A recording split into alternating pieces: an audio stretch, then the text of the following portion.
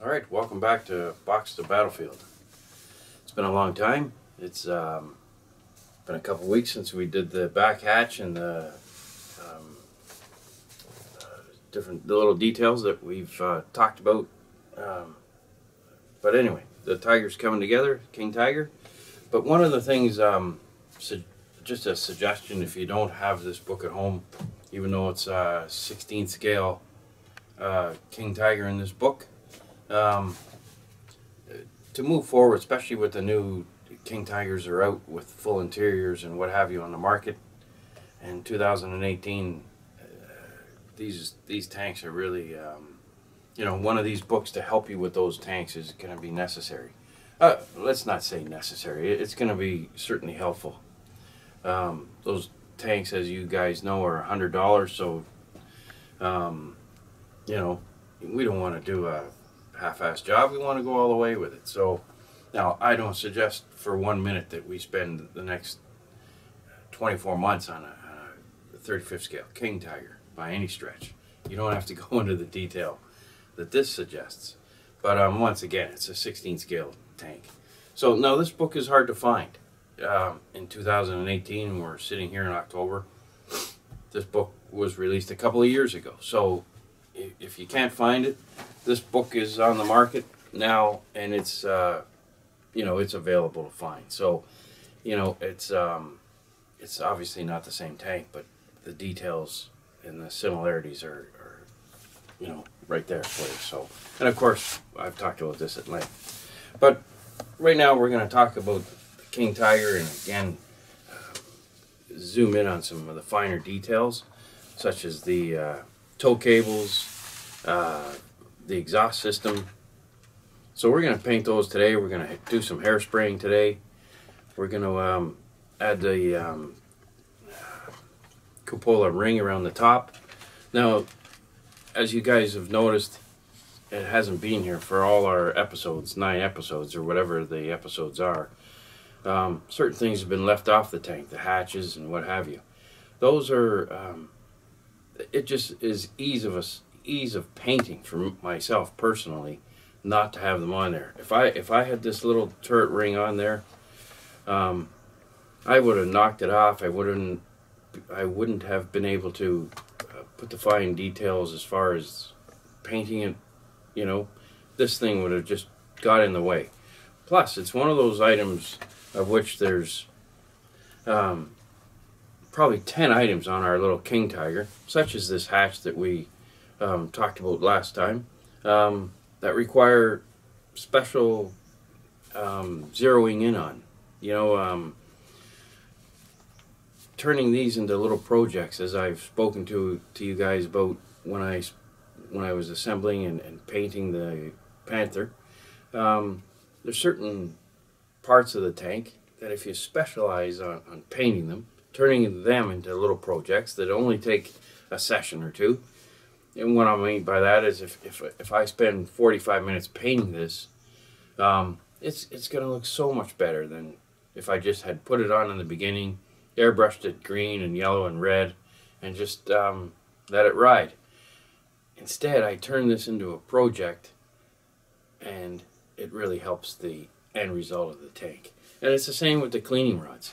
Like, as you guys know, I, I I'm not a photo etch man. I, I I can get into a little bit of photo etch on different vehicles, but I'm just um, I'm just I'd, I'd rather build five tanks in a year than than slow it right down and do one. So um, yes, I'll make my tanks. All the grab handles are never going to be the typical Tamiya rectangles with no pass through. I'm always going to correct that with wire and all that sort of thing. But these cleaning rods also um, need a little bit of TLC. And I'm going to get into today about how to drill those out and, and make them a little better than, than what comes in the kit. And then we're going to hairspray and we're going to turn this little tow cable into a special project. Uh, you know, a 45 minute project for your tank, but it's it's going to sing. It's going to look like it's um, hasn't just been a afterthought. And it's the same with the exhaust stacks and, and, and what have you. So um, where's our little yeah the little toe clamp tow cable clamp you turn these little things into um, 15 minute little projects and then pretty soon your tank is much more pleasing to the eye so so i'm going to cover some of those details today and um, and again i'm going to address this Zimmerit soon some guys have been asking about how i'm going to handle this and, and, and that's not going to be a problem um, show you how to make a little tool to make your own Zimmerit. Um, so anyway, we have a few little things to cover, and then next time we're together, because off screen I'm going to assemble the wheels. We discussed, you know, obviously the collapse of the torsion bars earlier in the these episodes. So I'm to off screen put all the wheels on, and um, and then we're to get to the the last episode, which is um, talking about the shell hits and, and the rusting out and the and then hopefully down the road we'll, we'll be able to put this on a little bit of groundwork and have our photographer painting it. But um, so let's put the um, King Tiger away momentarily, and I'll get into painting these. Now, one of the things off camera that I've done, because the hairspray technique is, um, and here's the hairspray that I like to use. And this is the same hairspray that Mike Rinaldi would have used. Um, and there are other things on the market, as you guys know, for hairspray. MIG AK probably have a, a product, heavy chipping and, and small chipping and that sort of thing. And I, and I just stick with the hairspray. I'm comfortable with it, and you have to do all this in your comfort zone. So, um, so anyway, we're off camera a half an hour ago, I put my first coat of hairspray on these. And hairspray techniques require two little coatings. You spray it, let it harden up and dry, which, like I say, is a half an hour ago. And then in a minute, I'm going to hairspray it a second time with just a light coat. And then we'll get into painting it up properly and, and, and carrying on. So that's what we're going to do this morning. And we'll just give this thing another little blast with our, with our hairspray and then we'll do the turret cupola ring.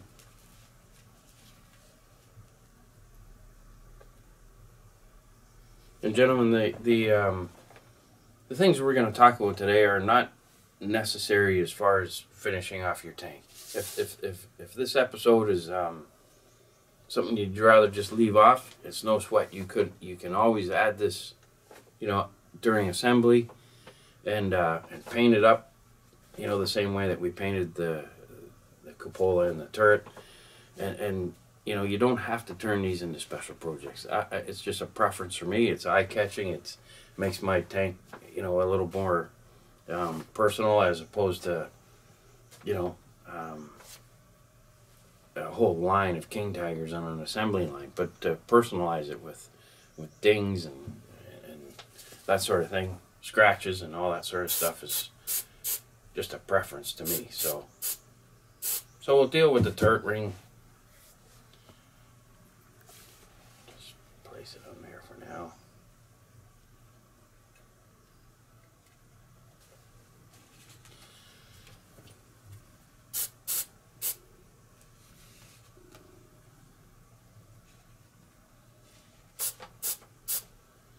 I'm getting hairspray all over my beautiful books. but anyway, a couple little zaps of hairspray.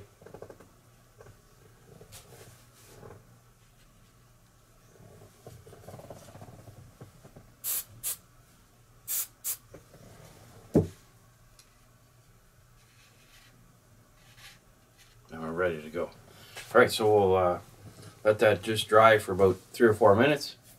I'll, I'll mix the paint, and by the time the paint's mixed and everything, um, that hairspray will be ready to, to rock. And one of the things about, and very, very important and, and not discussed, and, and, I, I've said it at length a few times, one of the um, things about the hairspray is, is that I personally have great results if I mix these these two will give me the, the light color on that I'm going to paint my ring.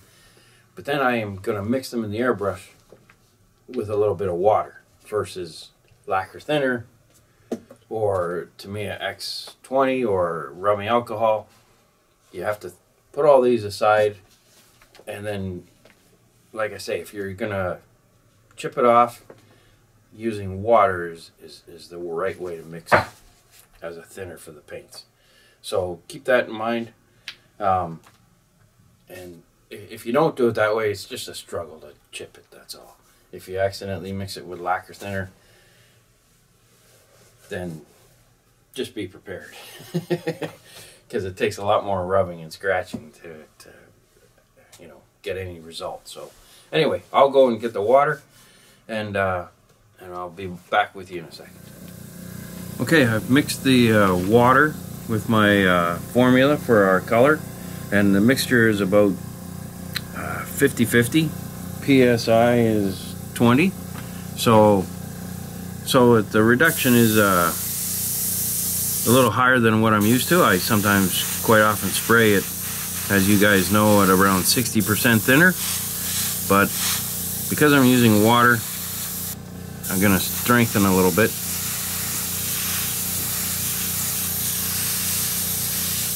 and I'm just putting on a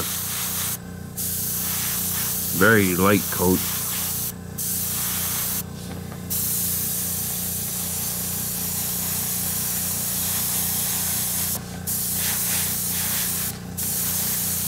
And as you guys know, around this turret ring, there's two other colors. There's red and green here. So I'll address that in a second.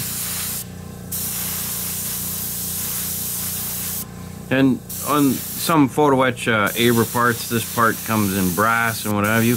I'm just quite happy using the Tamiya part. And if the Tamiya part in certain tanks comes out a little thick, just um, take some sandpaper and just thin it down to a more scale um, thickness, which I have done.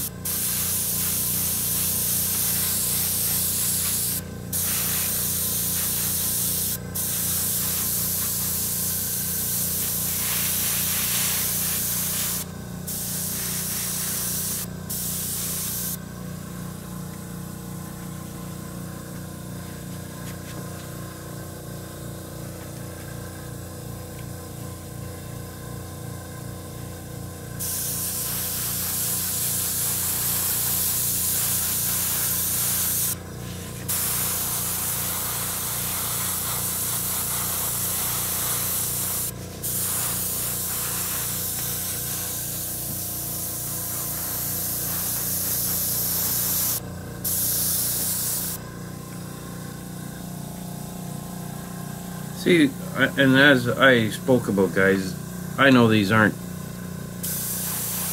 state-of-the-art photo etched um, clamps and what have you on these parts. But you know what? With um, a little bit of finesse and skilled painting, um, plus two, you, you don't want to get bogged down in, um, you know, a year and a half of painting one little, uh, to me, a tank. The enjoyment of all this is, um, you know, it, it's how you guys measure it. If that's what you guys want to do and build clamps for all this sort of stuff, um, please do. I, my enjoyment of it is, is, is just a different, different than yours maybe. Um, it's not necessary for yours truly to be bogged down and putting on photo etch and all that sort of stuff. Um, at the age of 60, all you have to do is look at your stash and realize that maybe getting to the bottom of these quicker is just with this sort of solution. So anyway, the um, we're gonna just let that dry, and then I'm gonna start to chip it. And the, and there are different things for chipping tools, such as this little pair of tweezers. This is a good scratch um, thing for chipping. But there there's a number of things. Obviously, toothpicks and uh, you know stiff paint brushes to start rubbing this off are where I'm going to go next. So, and then I'm going to just entirely get into a different color when I come to painting these exhaust systems. So, but in any event, let's these dry for a moment and then we'll uh, Then we'll start chipping it, and then we'll put some oil paints on it, and, and just like I say, turn them into individual projects. Um, it takes very brief time, but the result is, uh, you know, it's superior than just painting it and gluing it on your tank. So anyway, like I say, spending 15 minutes on these little things for a total of possibly 45 minutes, um, it's going to be more pleasing to the eye and you know your your tank's going to end up a little better so anyway let's put the airbrush away for a second so we don't spill it and then we'll start the chipping okay so the next uh, procedure after it's painted I've, I've let it sit for about uh, five or six minutes and um, again uh, the the yellow paint has been mixed with water now I'm going to take the water rub it on the model, and the chipping should start. Now, some guys get impatient with this.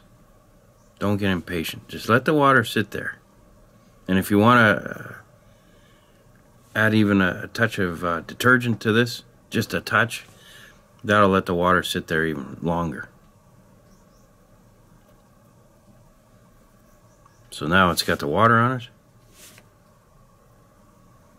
And it used to be, I, I used to put warm water versus cold, but the reality is I don't think it matters. So now, I'm going to use the same brush that I just applied the water with. Now, I, I want small chips here. The, the reason for that is the following. We're at the high, high, high mark of the tank. The amount of heavy stones and what have you are not ever going to hit the turret ring you know, the heavy stones from the, the, the travel that this tank is going to take. The stones are not kicked up from the ground and then tossed against this ring here to, to, to, to generate any chipping. The chipping is from adding the machine gun and, you know, going around and around with the machine gun and, and what have you. Putting shells through this hatch is unusual, but nevertheless, putting shells in here probably happens. So that's also going to bang into this little turret ring here. Now all I'm going to do is sit here and rub it a little bit and you're going to see little miniature little chips. And as Mike Rinaldi has always said, there's no chip too small.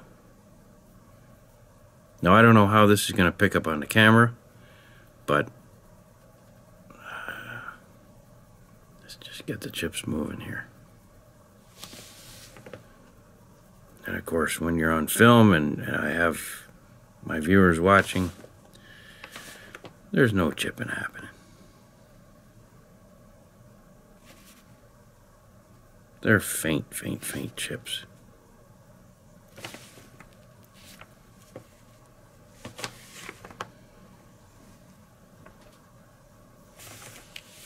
And it's a delicate piece of equipment too, so as far as a piece of plastic goes, so Maybe I will switch to hot water. but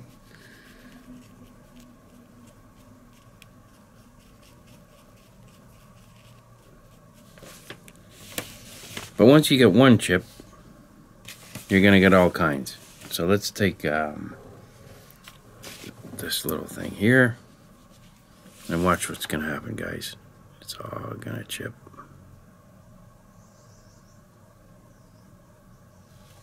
And you can just barely see a few chips starting to form.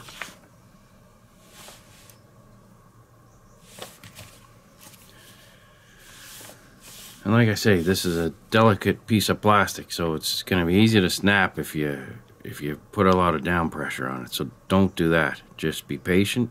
And because we're modelers, we have the patience.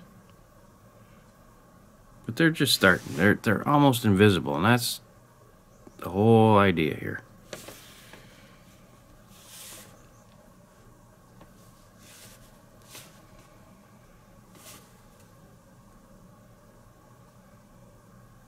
As you can see, they're, they're delicate, but they're there.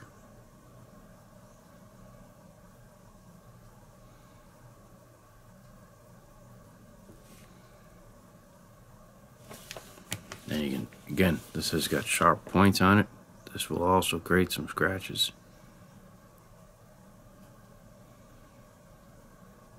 And if you're watching this gentleman on a phone or uh, what have you, you're not even going to see what I'm up to. So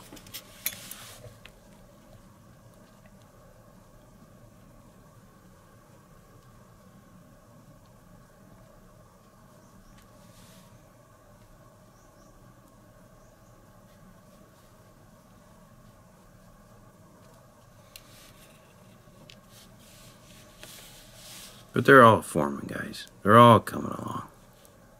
Now, is this any better than the sponge routine? Just depends on how good you are with the sponge. Personally, I'm not so good with the sponge. I overdo it all the time. So, but I I have buddies out there that will swear by the sponge technique. And that's just, you know, taking a sponge on a tweezers and and it works too. So keep in mind, guys, like th this program is, is, is strictly. I, I'm just kindling for you guys to get the get the fire going. You know, that's all that Dave Brown does. Is he he, he just provides the little bit of kindling, and you guys are gonna spark everything up.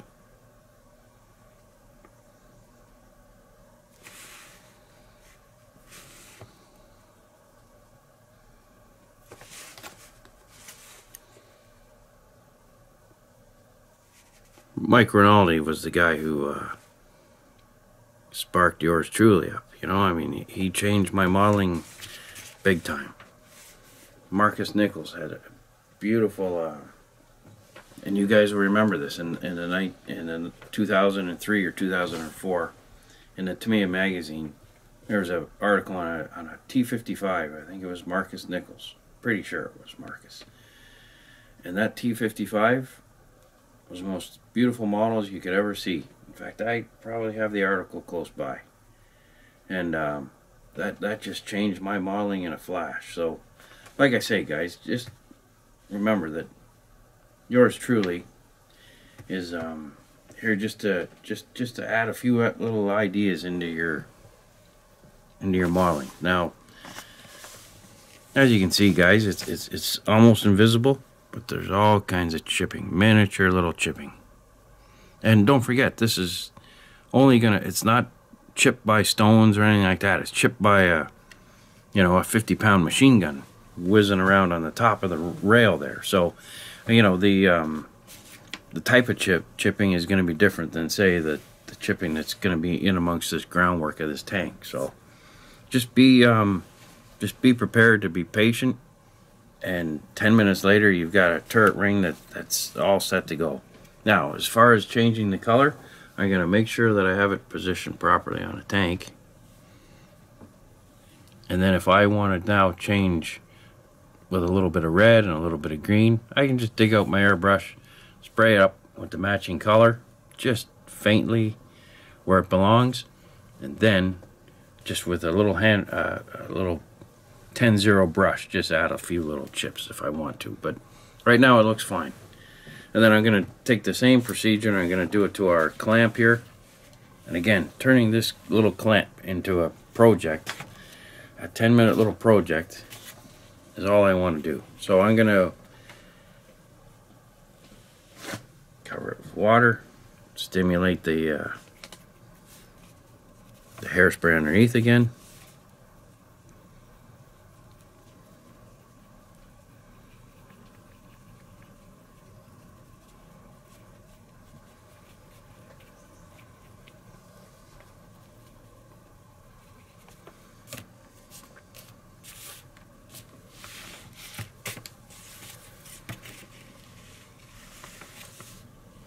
Just let the uh, water sit on there and get through the paint a little bit. And we just touch it with our tweezers. It's a nice way to chip with these sharp, sharp tweezers. You can do it with a pin. I've seen Adam Wilder do it with a pin.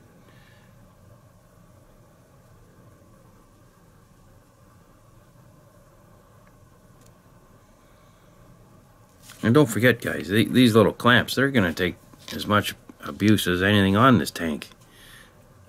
So, you know, if, if used in the field to put on track or to get towed out of a jam.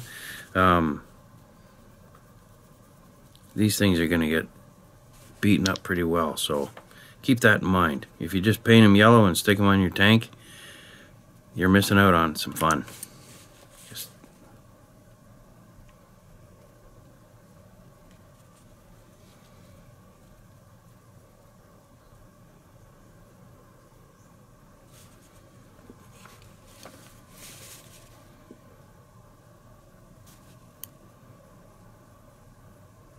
Like I say, guys, on the on, if you're watching this through um, your phones on your lunch break or something at work, you're not going to necessarily see the, this going on. So um, enlarge it if you can, because these chips are purposely quite small.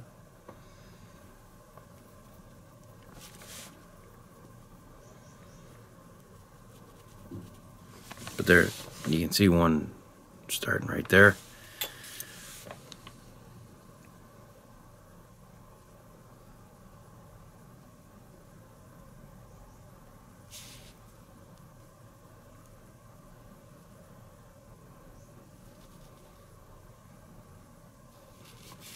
But as you can see, it's all starting to take place. And then if if if if your particular tank has two of these clamps, do them different. You know, like do this one maybe, you know, really pounded bad, and and maybe the other one just hasn't been used enough. You know, so change up and don't do them.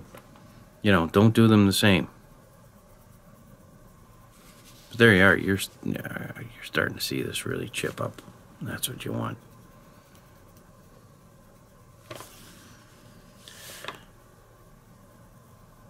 But anyway, that's the procedure for using the hairspray. I'm just going to, uh, off camera, just continue a little bit. And then um, shortly I'm going to put an oil wash on this. You know, let it dry and what have you. And then uh,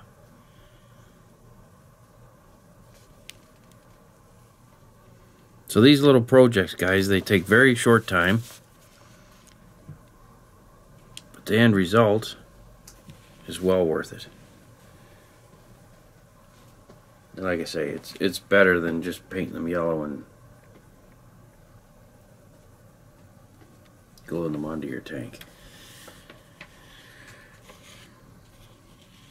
So that's um like I say, there's there's few stages to the whole process the hairspray, the color, the chipping, and then the oil wash. And the oil wash can be done three days from now or two weeks from now, it doesn't matter.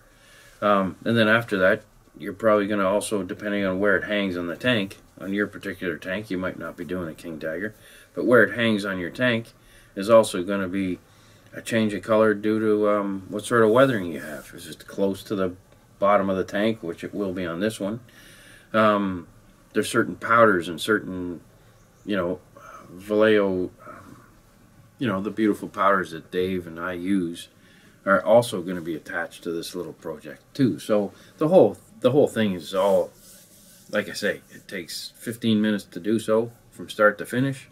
Um, but the end result is fantastic. So, like I say, off camera, I will um, dig out some oil paints, let this dry, put the hair dryer to it to dry up this, then bring out the oil paints to paint it, which I'll show on camera, and then um, and then we'll carry on with some of the other parts here. So I'm gonna hesitate just for a few minutes. We'll shut the camera down, and um, like I say, we'll we'll uh, we'll get back to that in a few minutes. Thanks for watching. Okay, gentlemen, we've uh, taken our our uh, clamp. And uh, now we're going to add a little bit of oil paints, and I love these two colors. Industrial Earth, number 90, Abteilung, number 92, German Ochre. And I've put them out on the on the piece of cardboard. And as you guys know, I like to put them out oh, about a half an hour before using. And then the linseed, see, see it forming a little ring here?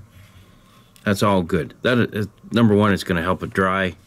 Um, less glossy and, and it's just uh, the characteristics of this changes once it's sitting out on this cardboard a little bit more to my liking so um, I'm just going to give this a little oil wash, and here's our little turret ring. Give that an oil wash, and then I'm going to let them sit until the uh, until it's the day that I uh, add the pigments.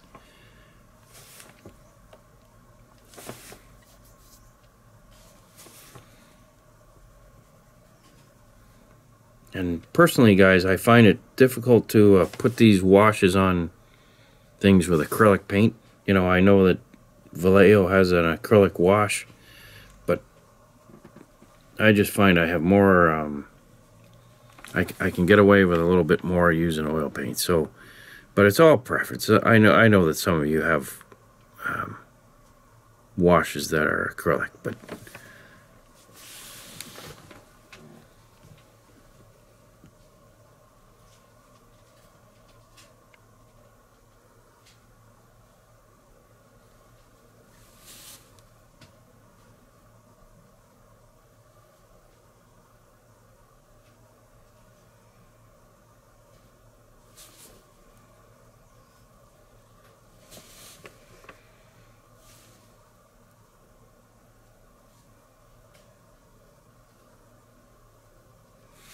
you need a, a form of thinner.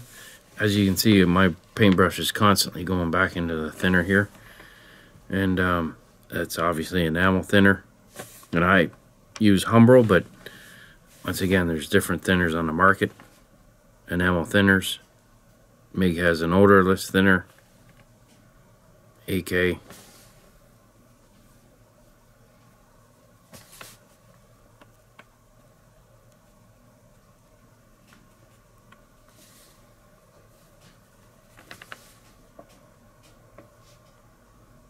That's just about it.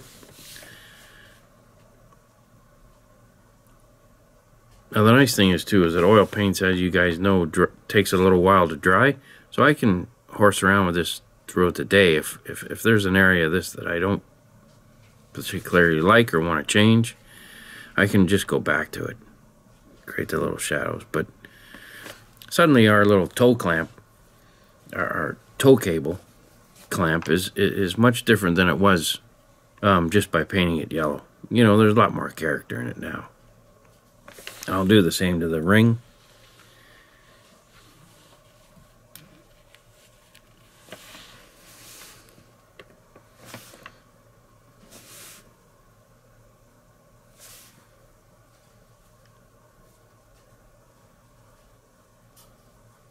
So I, I mix up the two um, colors together. Just get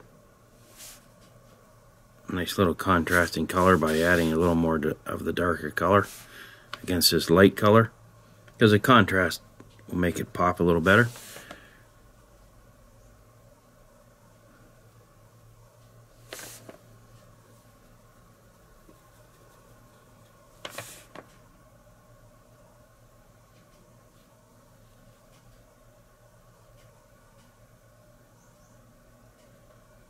And like I said, gentlemen, this is a delicate piece of plastic, so just be careful when you're handling it.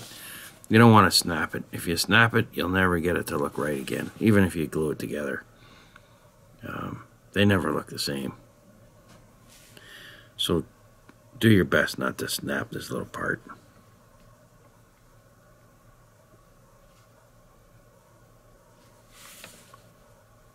And do the inside. Don't forget the inside, guys.